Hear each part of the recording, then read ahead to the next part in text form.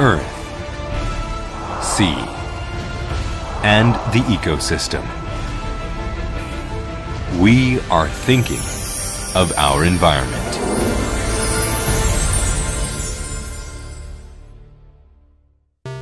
As marine transportation has increased, side effects like disturbance of the marine ecosystem due to microorganisms in ballast water have consistently increased as well. Ballast water carries more than 7,000 species of microbes, plants, and animals, leading to the appearance of new species every nine weeks in the world. This brings about heavy economic damage.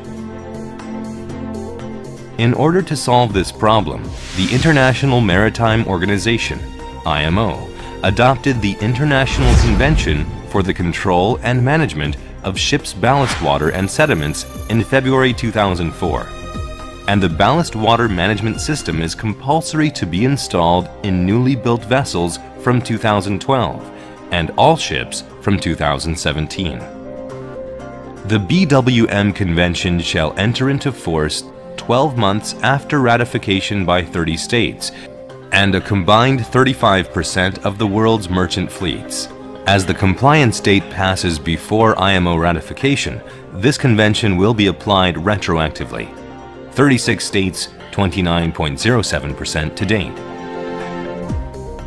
The Ballast Water Management System is a technology preventing an invasion of an exotic species from other areas by disinfecting aquatic organisms or microorganisms in the ballast water.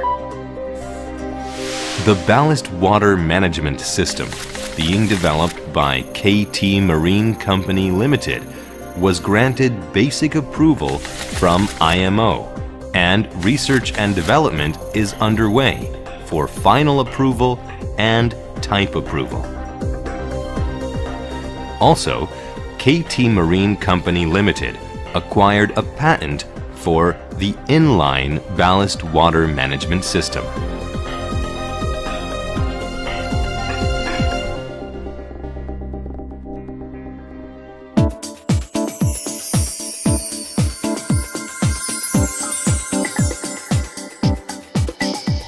Feature 1. Compact with a small footprint. Compared with its competitors, KTM BWMS does not need a wide footprint due to its compact size, and it is easy to install. Also, the Plankill pipe and the electrolyzer do not need a footprint, with installation to the ballast pipeline directly. Feature 2. Low power consumption. The KTM BWMS does not need an additional generator due to its low power consumption, which is only 12 to 16 kilowatt hours at 250 meters cubed per hour capacity and 50 to 60 kilowatt hours at 1000 meters cubed per hour capacity. Feature 3. Low installation cost. The KTM BWMS can be installed from 2 to 5 days during voyage. No need to dock for installation due to its compact size. Therefore, it can save costs as off-hire does not occur. Feature 4. Low maintenance cost. The KTM BWMS does not need a filter, and you can save on the replacement cost of the filter. Filters used as a pre-treatment brings rising maintenance costs due to frequent backwashing and the need for replacement due to clogging. A patented Plankill pipe unit plays the substitute role for the filter. Feature 5. High Performance and Global After Service Network. The KTM BWMS can operate in low salinity areas, and KT Marine plans to establish a global service network for optimal operation.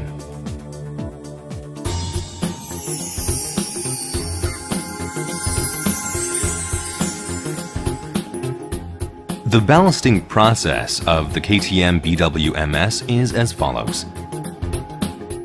The ballast water, inletted by the ballast pump, passes the Plankill pipe unit through a flow meter and a salinity meter.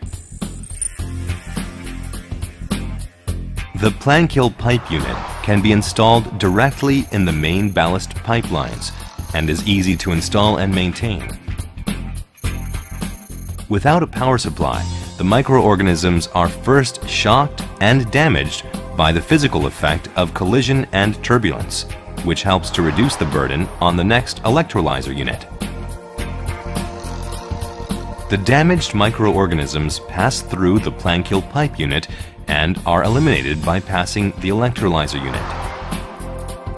The electrolyzer unit is an inline installation as a modular type and can be replaced easily by the crew.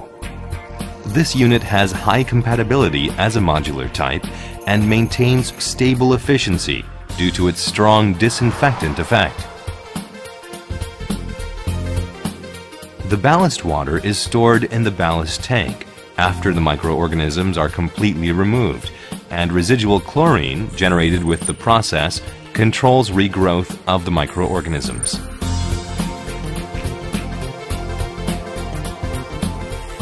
The deballasting process of the KTM BWMS is as follows.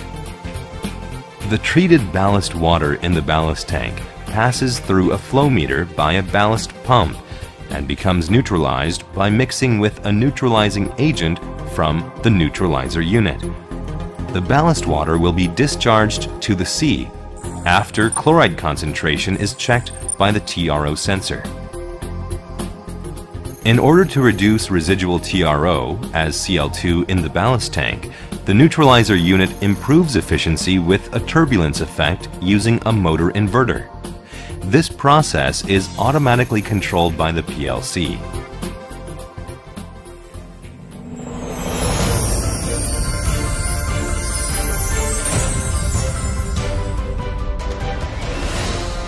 KTM BWMS has the following models for each ballast capacity.